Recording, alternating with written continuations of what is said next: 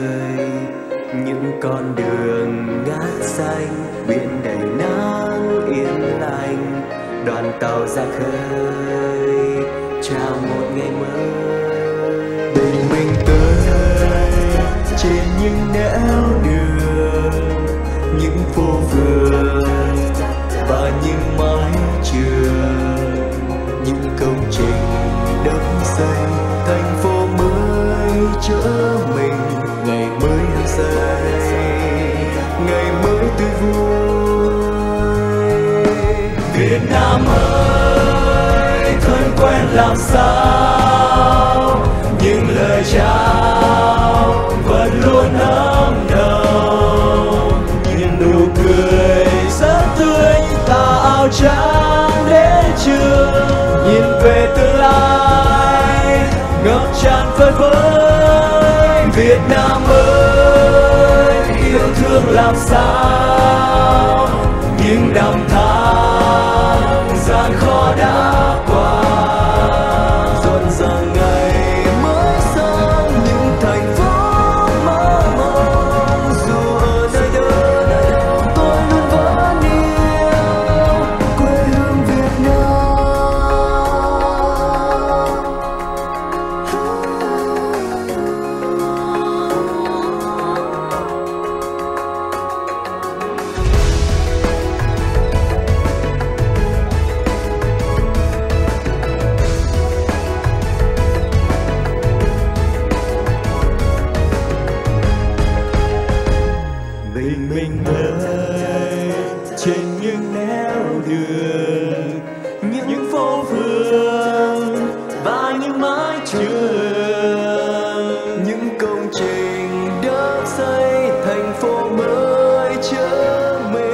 ngày mới hăng say, ngày mới tươi vui. Việt Nam mới thân quen làm sao? Những lời chào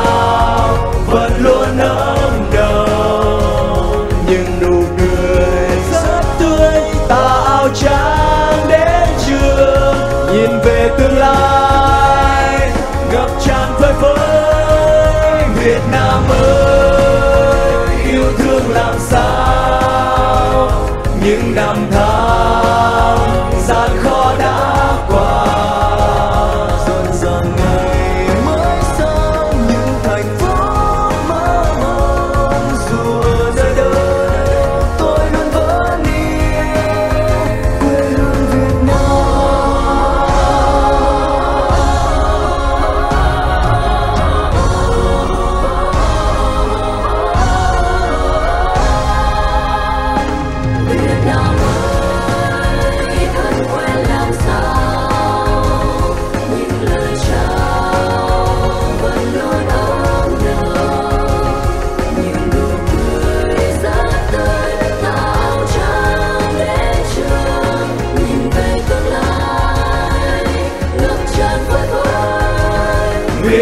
world.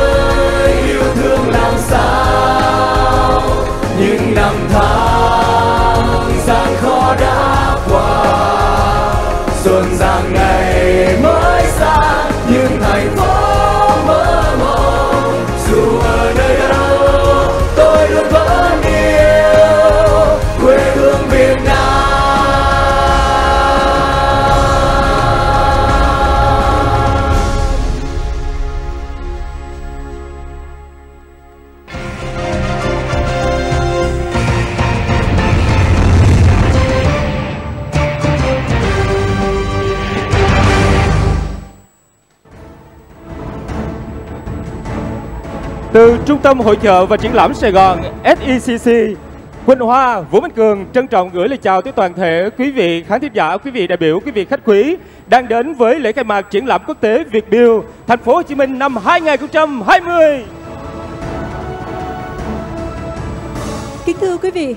trước tình hình kinh tế của đất nước năm 2020 chịu ảnh hưởng của dịch bệnh Covid-19 nhưng đã có những bước phục hồi và chuyển biến tốt đẹp theo hướng ổn định và phát triển. Và chương trình của chúng tôi cũng vừa được bắt đầu bằng ca khúc Việt Nam ngày mới như là một thông điệp của ban tổ chức gửi đến toàn thể quý vị đại biểu. Kính thưa quý vị, triển lãm quốc tế Việt Build tại thành phố Hồ Chí Minh với chủ đề xây dựng vật liệu xây dựng, bất động sản và trang trí nội ngoại thất được diễn ra từ ngày hôm nay 24 tháng 6 đến hết ngày 28 tháng 6 năm 2020 quy tụ được gần 1.800 gian hàng với các thương hiệu nổi tiếng đến từ các quốc gia và khu vực tham dự, trưng bày đa dạng phong phú các sản phẩm của ngành vật liệu xây dựng và trang trí nội ngoại thất. Thưa quý vị, và đây cũng chính là sự kiện góp phần ổn định và phát triển nền kinh tế của đất nước và sự kiện chào mừng kỷ niệm 62 năm ngày truyền thống của ngành xây dựng Việt Nam năm 1958 năm 2020. Kính thưa quý vị, cùng về tham dự buổi lễ khai mạc ngày hôm nay, chúng tôi rất vinh dự được đón tiếp sự hiện diện của đông đảo các doanh nghiệp, ờ, sự hiện diện của các vị lãnh đạo, các quý đại biểu cùng bạn bè quốc tế. Về phía lãnh đạo Bộ Xây dựng và Bộ ngành Trung ương, Ủy ban nhân dân thành phố Hồ Chí Minh, Ủy ban nhân dân các tỉnh thành, xin được trân trọng giới thiệu sự hiện diện của ông Nguyễn Văn Sinh, Thứ trưởng Bộ Xây dựng, trưởng Ban chỉ đạo triển lãm quốc tế Việt Build. Trân trọng giới thiệu sự diện của ông Nguyễn Hồng Quân, nguyên ủy viên Ban chấp hành Trung ương Đảng, nguyên Bộ trưởng Bộ Xây dựng. Trân trọng giới thiệu ông Tống Văn Nga, Chủ tịch Hội vật liệu xây dựng, nguyên Thứ trưởng Bộ Xây dựng. Trân trọng giới thiệu sự diện của ông Nguyễn Duy Hưng, nguyên Bí thư tỉnh ủy tỉnh Quảng Ninh. Trân trọng giới thiệu ông Phạm Văn Bắc, vụ trưởng vụ vật liệu xây dựng, Bộ Xây dựng. Trân trọng giới thiệu ông Hoàng Hải, Cục trưởng Cục Công tác Phía Nam Bộ Xây dựng. Trân trọng giới thiệu ông Trần Hữu Phước, Phó Chủ tịch Ủy ban Mặt trận Tổ quốc Việt Nam thành phố Hồ Chí Minh. Trân trọng giới thiệu ông Nguyễn Ngọc Quang, Giám đốc Trung tâm Thông tin Bộ Xây dựng. Trân trọng giới thiệu ông Nguyễn Quang Hiệp, Phó Vụ trưởng vụ vật liệu xây dựng, Bộ Xây dựng. Trân trọng giới thiệu bà Bùi Thị Thanh An, Phó Cục trưởng, trưởng đại diện Cục Xúc tiến Thương mại Phía Nam Bộ Công Thương. Trân trọng chào đón ông Huỳnh Văn Khiết, Phó Giám đốc Sở Xây dựng thành phố Hồ Chí Minh. Trân trọng giới thiệu ông Nguyễn Phương Đông, Phó Giám đốc Sở Công Thương thành phố Hồ Chí Minh. Trân trọng giới thiệu ông Nguyễn Tuấn, Phó Giám đốc phụ trách Trung tâm xúc tiến thương mại và đầu tư thành phố Hồ Chí Minh. Trân trọng giới thiệu ông Nguyễn Quang Cung, Phó Chủ tịch Hội Vật liệu Xây dựng Việt Nam. Trân trọng giới thiệu ông Thái Duy Sâm, Phó Chủ tịch Tổng thư ký Hội vật liệu xây dựng Việt Nam. Trân trọng giới thiệu ông Lê Văn Tới, Phó Chủ tịch Hội Vật liệu Xây dựng Việt Nam. Trân trọng giới thiệu ông Lê Hoàng Châu, Chủ tịch Hiệp hội Bất động sản thành phố Hồ Chí Minh. Trân trọng giới thiệu ông Trương Phú Cường, Chủ tịch Hiệp hội Xây dựng và Vật liệu Xây dựng thành phố Hồ Chí Minh. Trân trọng chào đón ông Đặng Lê Dũng, Phó Chủ tịch Thường trực Hội Khoa học Kỹ thuật Xây dựng thành phố Hồ Chí Minh. Trân trọng giới thiệu ông Nguyễn Quang Mâu, Phó Chủ tịch Hội Vật liệu Xây dựng Việt Nam. Trân trọng chào đón bà Thượng Mỹ An, Tổng Giám đốc Công ty Liên doanh Hội trợ và Triển lãm Sài Gòn SECC. Trân trọng giới thiệu ông Nguyễn Đình Hùng, Phó Chủ tịch Hội Vật liệu Xây dựng Việt Nam, Chủ tịch Công ty Tổ chức Triển lãm Quốc tế Xây dựng Việt Build. Trân trọng chào đón ông Vũ Quang, Phó Giám đốc Công ty Phát triển Công viên Phần mềm Quang Trung. Về phía Tổng lãnh sự và các vị đại biểu quốc tế, chúng tôi xin được trân trọng giới thiệu sự hiện diện của ông Hanif Salim, Tổng lãnh sự Cộng hòa Indonesia tại thành phố Hồ Chí Minh. Trân trọng chào đón ông Musa Derek Sriwana, Phó lãnh sự Tổng lãnh sự quán Cộng hòa Indonesia tại thành phố Hồ Chí Minh. Và ban tổ chức ngày hôm nay cũng hân hạnh được đón tiếp đại diện lãnh đạo của các cơ quan đoàn thể thuộc các bộ ngành trung ương, lãnh đạo các sở ban ngành tại các quận huyện thuộc thành phố Hồ Chí Minh và các tỉnh thành thành phố bạn. Chúng tôi trân trọng giới thiệu sự hiện diện của cơ quan đại diện nước ngoài tại thành phố Hồ Chí Minh, các nhà tài trợ, quý doanh nghiệp tham gia triển lãm, các anh chị em phóng viên báo đài trung ương và địa phương cũng đến tham dự và đưa tin về chương trình. Một lần nữa, Quỳnh Hoa, Vũ Anh Cường trân trọng kính chào sự hiện diện của tất cả quý vị. Bây giờ để khai mạc chương trình, chúng tôi xin được trân trọng kính mời ông Nguyễn Văn Sinh, Thứ trưởng Bộ Xây dựng, trưởng ban chỉ đạo triển lãm quốc tế Việt Build lên đọc diễn văn khai mạc. Xin được trân trọng kính mời ông.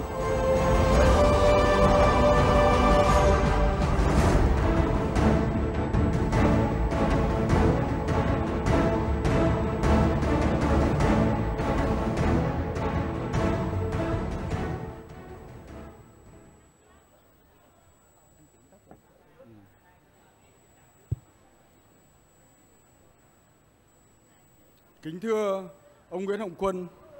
nguyên ủy viên Ban chấp hành Trung ương Đảng, nguyên Bộ trưởng Bộ Xây dựng. Kính thưa các quý vị đại biểu, hôm nay tôi thay mặt cho lãnh đạo Bộ Xây dựng nhiệt liệt chào mừng các đồng chí lãnh đạo các bộ ban ngành ở Trung ương, các đồng chí lãnh đạo ở các địa phương, đặc biệt là các đồng chí lãnh đạo đại diện cho Ủy ban Nhân dân và Mặt trận Tổ quốc thành phố Hồ Chí Minh đại diện các hiệp hội và các doanh nghiệp trong và ngoài nước đã về dự hội trợ triển lãm quốc tế Việt Build 2020 về xây dựng, vật liệu xây dựng, bất động sản và trang trí đội ngoại thất được diễn ra tại thành phố Hồ Chí Minh ngày hôm nay do Bộ Xây dựng và Ủy ban nhân dân thành phố Hồ Chí Minh bảo trợ. Kính thưa các quý vị đại biểu, Việt Nam đã cơ bản kiểm soát đẩy lùi được cái dịch bệnh ngăn chặn được sự lây lan trong cộng đồng, thiết lập một trạng thái bình thường mới, thực hiện được mục tiêu kép, vừa đẩy mạnh hoạt động sản xuất kinh doanh, vừa chống dịch có hiệu quả nhằm tháo gỡ những khó khăn cho sản xuất kinh doanh, phục hồi nền kinh tế ờ, nói chung và cũng trong cái thời gian qua có thể nói là chính phủ, thủ tướng chính phủ cũng đã rất nỗ lực để ờ, có các cái biện pháp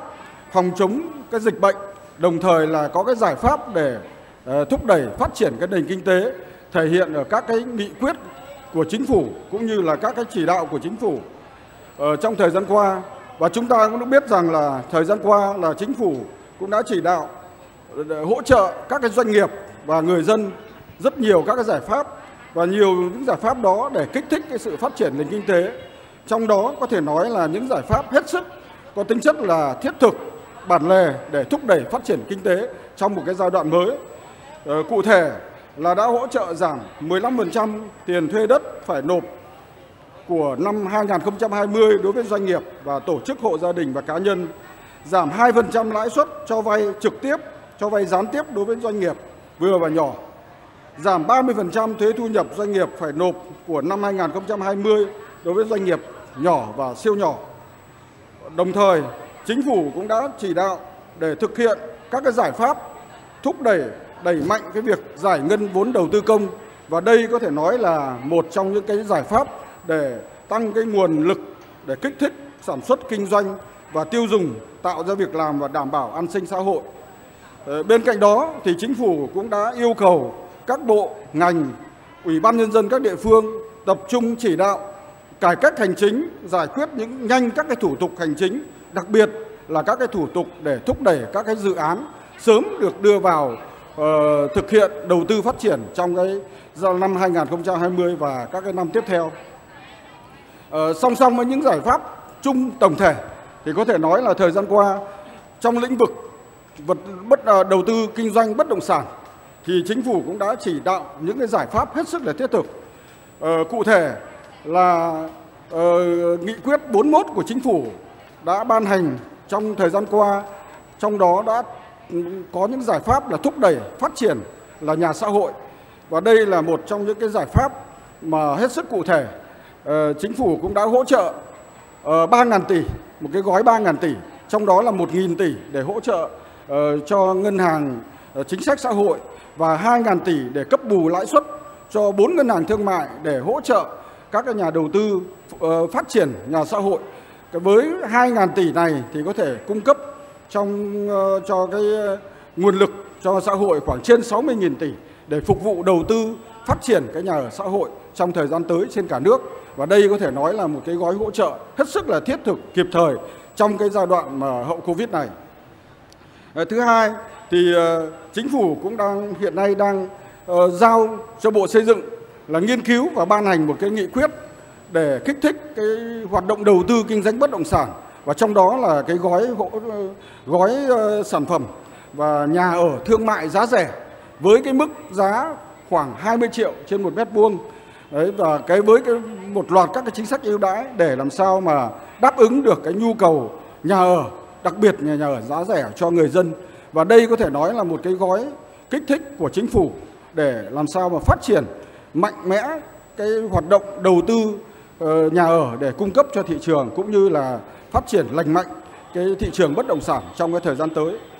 Vấn đề thứ ba, chính phủ cũng rất quan tâm chỉ đạo để tiến hành triển khai nhanh và giải quyết căn bản vấn đề hiện nay rất là là được người dân quan tâm đó là cải tạo các cái hệ thống nhà chung cư cũ thì đây cũng là một trong những cái nhiệm vụ đặt ra trong cái giai đoạn này cũng như trong giai đoạn tiếp tới để đảm bảo cái người chỗ ở của người dân được an toàn và cũng như là kích thích cái hoạt động đầu tư trong lĩnh vực nhà ở và kinh doanh bất động sản. À, kính thưa các quý vị đại biểu, à, với những cái giải pháp hết sức là cụ thể, thiết thực của chính phủ trong thời gian qua cũng như là các bộ ngành, các địa phương đều vào cuộc thì chúng ta đây cũng là cái cơ hội uh, rất là uh, cụ thể để cho các doanh nghiệp hoạt động trong lĩnh vực bất động sản, sản xuất vật liệu xây dựng, trang trí nội ngoại thất có một cái tạo đà, một cái thời điểm để chúng ta cũng bình thường các cái hoạt động sản xuất kinh doanh của doanh nghiệp mình để đóng góp vào cái sự phát triển của kinh tế xã hội trong cái thời gian tới. Thưa các quý vị đại biểu, ngày hôm nay triển lãm Việt Build được diễn ra từ ngày 24 tháng 6 đến ngày 28 tháng 6 năm 2020 tại thành phố Hồ Chí Minh thì là một hoạt động hết sức là thiết thực và cụ thể nhằm hỗ trợ thực hiện các cái chủ trương chính sách của Đảng, Nhà nước về xây dựng, bất động sản, nhà ở, đồng thời là cũng là các hoạt động xúc tiến thương mại, chuyển giao công nghệ, tăng cường hội nhập kinh tế của các doanh nghiệp và làm đưa các doanh nghiệp sớm trở về cái trạng thái bình thường mới để thúc đẩy hoạt động sản xuất kinh doanh của doanh nghiệp mình cũng như là đóng góp cho hoạt động uh, phát triển kinh tế xã hội của đất nước. Thì có thể nói là hội trợ triển lãm Việt Build được diễn ra trong lần này thì với rất nhiều các cái hoạt động hết sức là thiết thực. Uh, trong đó các cái hoạt động uh, ngoài những cái cái cái trình các cái, cái giới thiệu các sản phẩm của các doanh nghiệp thì hội trợ cũng là dịp để tổ chức các cái hội thảo, các cái cuộc thi của các cái doanh nghiệp, các diễn đàn doanh nghiệp về các chương trình khuyến mại, các báo cáo giới thiệu các cái sản phẩm mới, dịch vụ mới cũng như là công nghệ mới, đặc biệt là những cái công nghệ có tính chất là đột phá, thông minh để tạo ra những cái sản phẩm mới, kích thích cái ờ, một phần là đáp ứng nhu cầu của người dân, của doanh nghiệp cũng như là kích thích cái sự phát triển uh, các của các doanh nghiệp, uh, đặc biệt là các doanh nghiệp vật liệu và xây dựng cũng như là trang trí nội ngoại thất để ờ, ngày một phát triển hơn. Thế và tại buổi lễ ngày hôm nay với cái những cái hoạt động rất là sôi nổi như vậy, tôi thay mặt lãnh đạo Bộ Xây dựng nhiệt liệt biểu dương các doanh nghiệp, các tổ chức cá nhân trong và ngoài nước đã tham gia hội trợ triển lãm để quảng bá thương hiệu và xúc tiến thương mại, kết nối cung cầu cho những sản phẩm truyền thống và các sản mơ phẩm mới trong ngành xây dựng Việt Nam. Thay mặt lãnh đạo Bộ Xây dựng, tôi xin trân trọng cảm ơn các đồng chí lãnh đạo, các bộ ngành trung ương, các đồng chí lãnh đạo ở các địa phương, đặc biệt là các đồng chí lãnh đạo của thành phố Hồ Chí Minh và các ờ, hiệp hội ờ, đã có cái sự phối hợp với Bộ Xây dựng trong công tác quản lý nhà nước của Bộ cũng như là tạo điều kiện thuận lợi cho các doanh nghiệp đầu tư kinh doanh bất động sản và vật liệu xây dựng luôn được phát triển. Tôi xin tuyên bố khai mạc hội trợ triển lãm quốc tế Việt Build 2020 tại thành phố Hồ Chí Minh. Xin kính chúc các quý vị đại biểu sức khỏe, hạnh phúc, chúc các doanh nghiệp thành đạt được nhiều hiệu quả trong thiết thực tại cái hội trợ triển lãm này và đạt được nhiều thành công trong thời gian tới. Chúc triển lãm Việt Build 2020 tại thành phố Hồ Chí Minh thành công tốt đẹp. Xin trân trọng cảm ơn.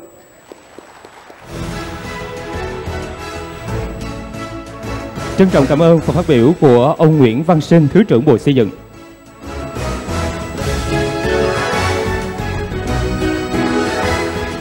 Kính thưa quý vị, triển lãm quốc tế Việt Build thành phố Hồ Chí Minh năm 2020 đã chính thức khai mạc và thành công của triển lãm lần này có sự đóng góp rất lớn của các nhà tài trợ, các doanh nghiệp tham gia tại triển lãm. Và ngay bây giờ thì ban tổ chức chúng tôi xin phép được cảm ơn và xin được mời lên sân khấu đại diện các nhà tài trợ để ban tổ chức của chúng tôi ờ, được trao hoa và danh vị đến tất cả quý vị. Dạ, chúng tôi trân trọng kính mời các đơn vị tài trợ chính sẽ tiến lên sân khấu để nhận hoa tri ân từ nhà tổ chức.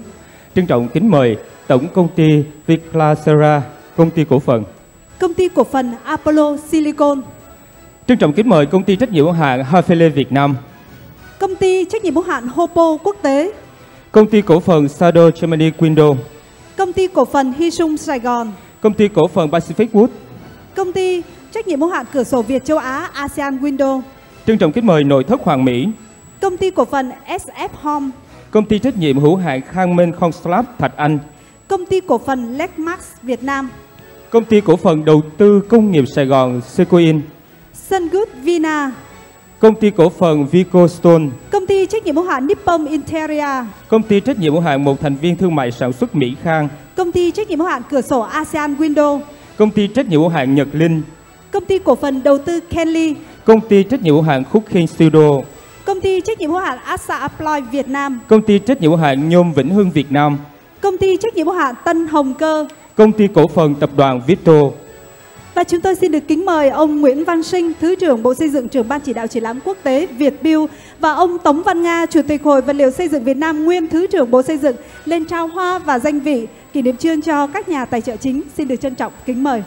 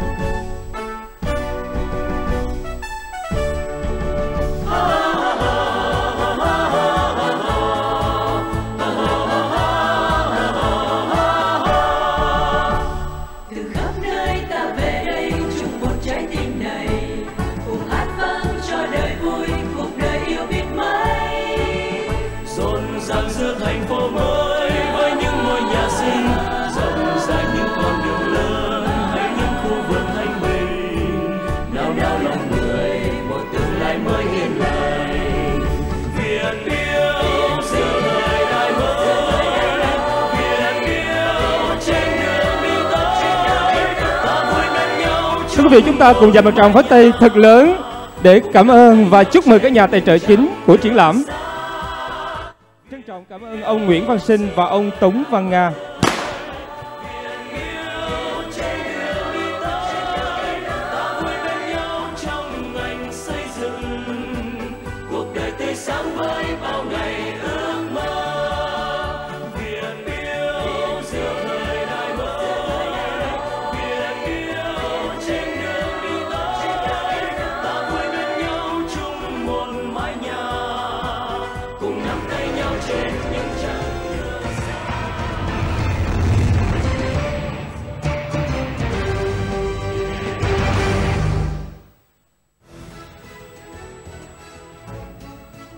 Kính thưa quý vị, chúng ta vừa đến với phần trao hoa và danh vị cho các nhà tài trợ chính tại triển lãm quốc tế Việt Build thành phố Hồ Chí Minh năm 2020. Và tiếp theo đây thì chúng tôi xin được mời các nhà đồng tài trợ. Đợt 1 chúng ta sẽ lên khán đài để nhận danh vị và hoa tri ân của ban tổ chức. Trân trọng kính mời chi nhánh công ty cổ phần Eurowindow tại thành phố Hồ Chí Minh, Công ty cổ phần kinh doanh xuất nhập khẩu gốm đất Việt, công ty cổ phần gạch ngói Đồng Nai, công ty trách nhiệm hữu hạn Phạm Huy Anh, công ty trách nhiệm hữu hạn IGS Window and Doors, công ty cổ phần kiến trúc xây dựng Nhà Vui, công ty cổ phần đầu tư kiến trúc xây dựng Thiết Thạch, công ty cổ phần Kim Gia Phạm, công ty trách nhiệm hữu hạn Nội thất Vinh Mỹ, công ty trách nhiệm hữu hạn thương mại Trúc Anh Minh, công ty trách nhiệm hữu hạn Yoshino Gibson Việt Nam, công ty trách nhiệm hữu hạn Lintech Việt Nam, công ty cổ phần cơ khí nhôm Sinfa Window, nhà máy nhôm Sinfa, công ty trách nhiệm hữu hạn thương mại và công nghiệp Trường Phát, công ty cổ phần Greenpan, công ty trách nhiệm hữu hạn thương mại Excellent Walmart. công ty cổ phần thương mại dịch vụ An Biên, Và chúng tôi xin được trân trọng kính mời ông Hoàng Hải, Cục trưởng Cục Công tác phía Nam Bộ Xây dựng và ông Trần Hữu Phước, Phó Chủ tịch Ủy ban Mặt trận Tổ quốc Việt Nam Thành phố Hồ Chí Minh lên trao hoa và danh vị để niệm trương cho các nhà tài trợ. Xin được trân trọng kính mời.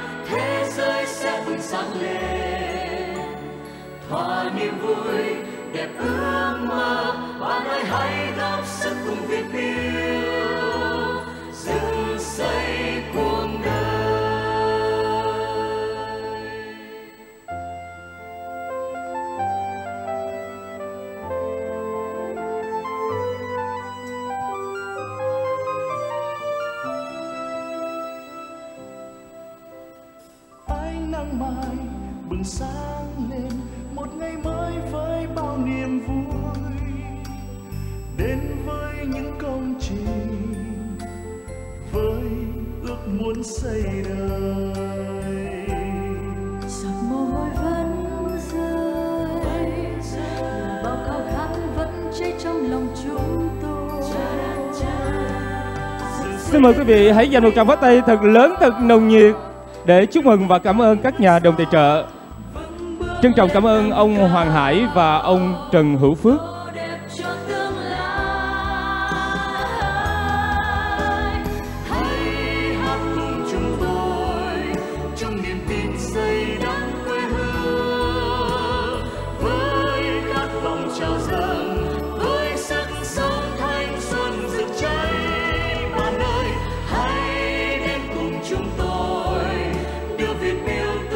Và tiếp theo đây sẽ là phần trao hoa và danh vị cho các đơn vị đồng tài trợ đợt thứ hai. Chúng tôi xin được trân trọng kính mời lên sân khấu. Trân trọng kính mời công ty Tôn Phương Nam, Công ty trách nhiệm hữu hạn công nghiệp Tung Sinh, công ty trách nhiệm hữu hạn thiết bị gia dụng Phương Gia, PG Home, công ty trách nhiệm hữu hạn xuất nhập khẩu Minh Tín U Sofa, công ty trách nhiệm hữu hạn thương mại Rồng Phương Bắc, công ty trách nhiệm hữu hạn một thành viên kỹ thuật hạ tầng AZ, công ty trách nhiệm hữu hạn sản xuất thương mại AA Windows, công ty trách nhiệm hữu hạn một thành viên LQ International, công ty cổ phần thương mại IK HPL, công ty trách nhiệm hữu hạn trang trí nội thất Toàn Phú, công ty trách nhiệm hữu hạn THN Việt Nam, công ty trách nhiệm hữu hạn sàn gỗ Thu Nga, công ty trách nhiệm hữu hạn Cosmic, công ty trách nhiệm hữu hạn Nam Tài Vượng, công ty cổ phần Euromega Việt Nam, công ty cổ phần sản xuất nước đóng chai Đại Phát. Và bây giờ chúng tôi xin được kính mời ông Nguyễn Ngọc Quang, Giám đốc Trung tâm Thông tin Bộ Xây dựng và bà Bùi Thị Thanh An, Phó Cục trưởng, trưởng đại diện Cục xúc tiến thương mại tại thành phố Hồ Chí Minh sẽ lên trao hoa và danh vị cho các đơn vị đồng tài trợ. Xin được trân trọng kính mời.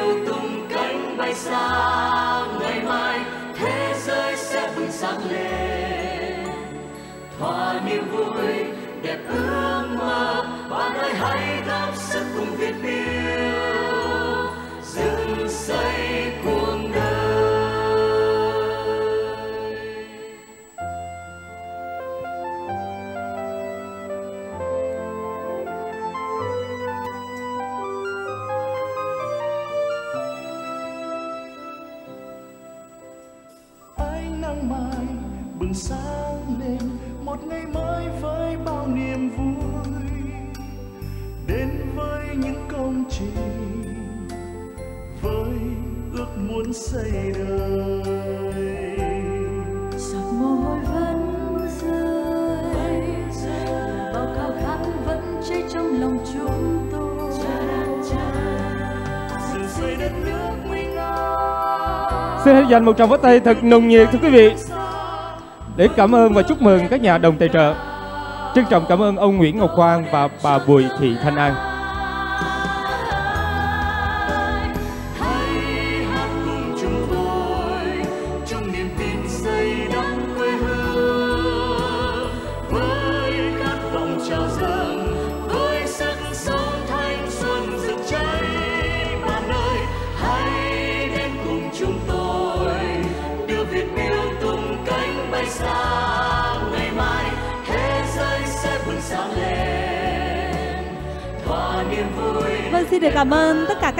Trợ cũng như các doanh nghiệp đã tham gia vào triển lãm Việt Build Thành phố Hồ Chí Minh 2020. Thưa quý vị, ờ, như chúng ta cũng biết đất nước của chúng ta đang bước vào tình hình gọi là ờm, bình thường mới và tất cả các doanh nghiệp đang phát triển ổn định và ờ, hướng đến tương lai tốt đẹp. Chính vì vậy mà tiếp theo chương trình chúng tôi muốn mời tất cả quý vị chúng ta sẽ cùng đến với hai ca khúc rất ý nghĩa. Bài hát Mặt trời ngày mới và Cánh mặt trời sáng tác của nhạc sĩ Bảo Lan với tiếng hát của ca sĩ Tuyết Mai, Quán quân Hãy nghe tôi hát 2020 và ca sĩ Lan Hương, nhóm Năm Dòng Kẻ. Xin được mời tất cả quý vị chúng ta cùng theo dõi.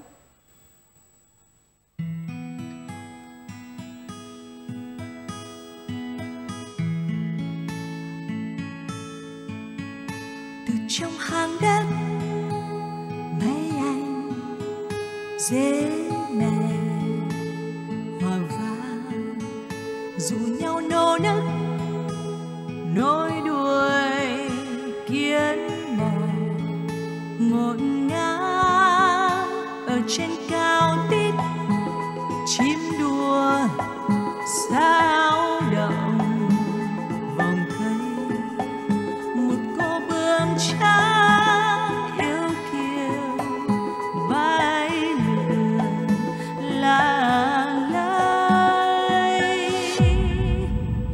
Trời đã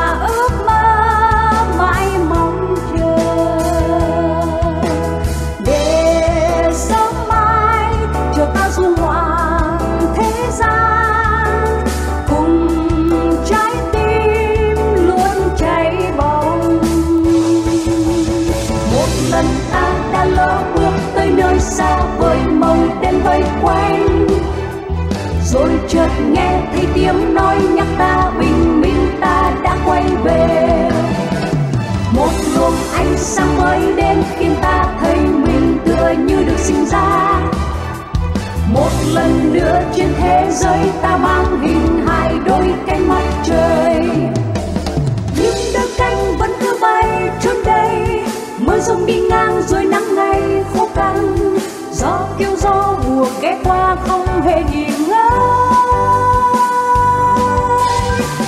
đàn chim mồi cánh theo tháng năm, dài rộng cánh lượn khắp nơi tiếng tim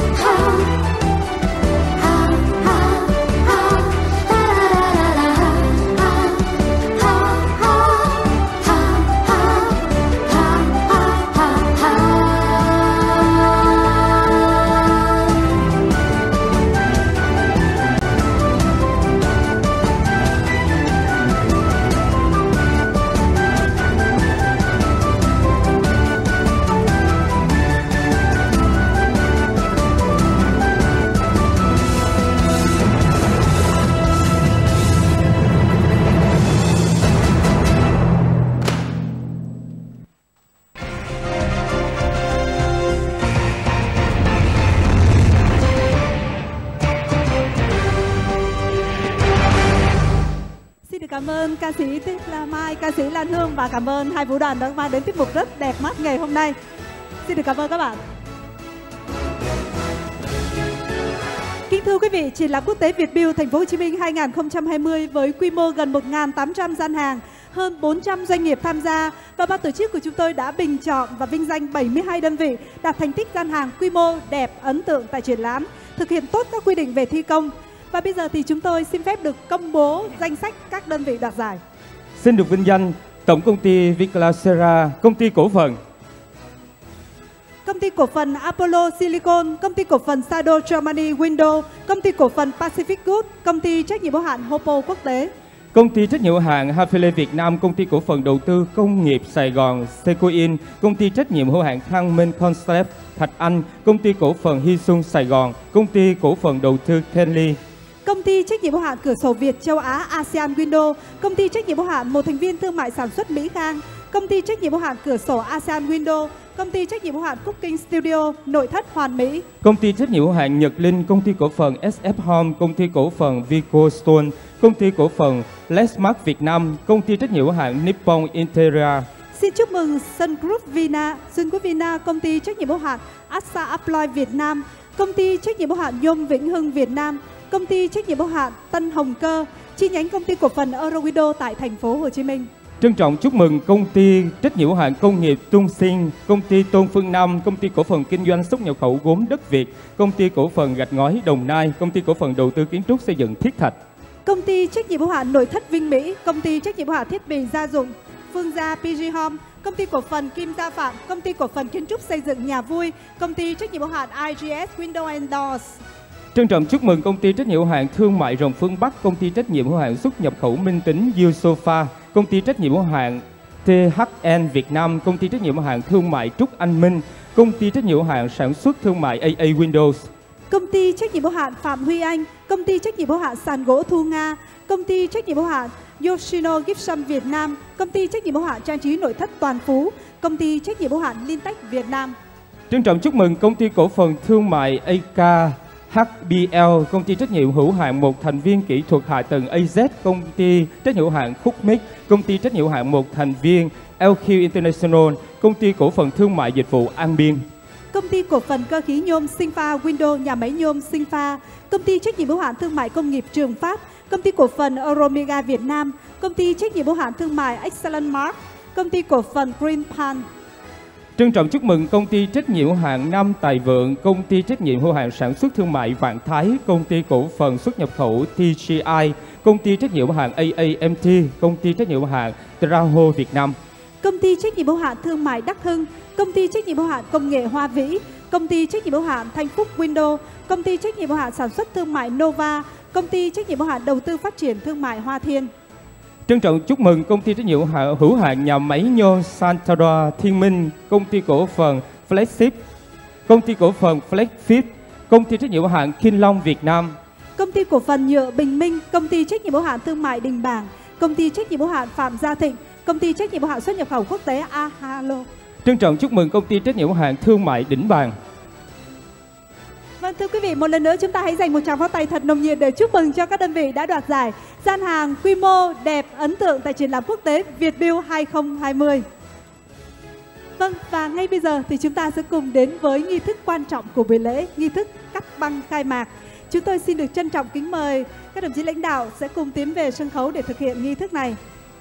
Xin được kính mời ông Nguyễn Văn Sinh, Thứ trưởng Bộ Xây dựng, trưởng ban chỉ đạo triển lãm quốc tế Việt Build. Trân trọng kính mời ông Nguyễn Hồng Quân, nguyên ủy viên Ban chấp hành Trung ương Đảng, nguyên Bộ trưởng Bộ Xây dựng. Trân trọng kính mời ông Tống Văn Nga, Chủ tịch Hội vật liệu xây dựng, nguyên Thứ trưởng Bộ Xây dựng. Trân trọng kính mời ông Nguyễn Duy Hương, nguyên Bí thư tỉnh ủy tỉnh Quảng Ninh. Trân trọng kính mời ông Phạm Văn Bắc, vụ trưởng vụ vật liệu xây dựng, Bộ Xây dựng. Trân trọng kính mời ông Hoàng Hải, cục trưởng Cục Công tác phía Nam Bộ Xây dựng. Trân trọng kính mời ông Trần Hữu Phước, Phó Chủ tịch Ủy ban Mặt trận Tổ quốc Việt Nam thành phố Hồ Chí Minh. Trân trọng kính mời ông Nguyễn Ngọc Quang, Giám đốc Trung tâm Thông tin Bộ Xây dựng. Trân trọng kính mời bà Bùi Thị Thanh An, Phó Cục trưởng trưởng đại diện Cục xúc tiến thương mại phía Nam Bộ Công Thương. Trân trọng kính mời ông Nguyễn Phương Đông, Phó Giám đốc Sở Công Thương thành phố Hồ Chí Minh. Trân trọng kính mời ông Huỳnh Văn Khiết, Phó Giám đốc Sở Xây dựng thành phố Hồ Chí Minh. Trân trọng kính mời ông Nguyễn Tuấn, Phó Giám đốc phụ trách Trung tâm xúc tiến thương mại và đầu tư thành phố Hồ Chí Minh. Trân trọng kính mời ông Lê Hoàn Châu, Chủ tịch Hiệp hội Bất động sản thành phố Hồ Chí Minh. Về phía tổng lãnh sự các nước và các bạn quốc tế, chúng tôi xin trân trọng kính mời ngài Hanif, ông Hanif Salim, tổng lãnh sự Cộng hòa Indonesia tại thành phố Hồ Chí Minh. Vâng, chúng tôi xin được kính mời các vị đại biểu chúng ta sẽ cùng tiến về sân khấu để thực hiện nghi thức cắt băng khai mạc. Xin được trân trọng kính mời.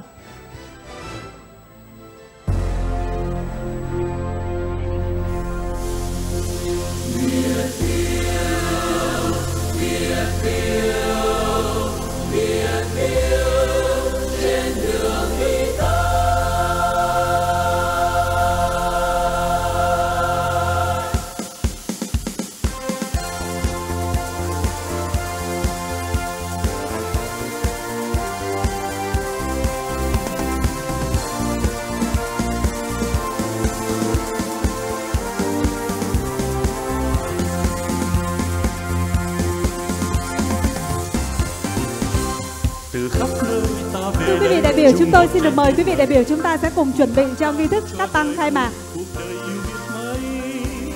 Và bây giờ nghi thức cắt băng khai mạc triển lãm quốc tế Việt Build thành phố Hồ Chí Minh 2020 xin phép được bắt đầu.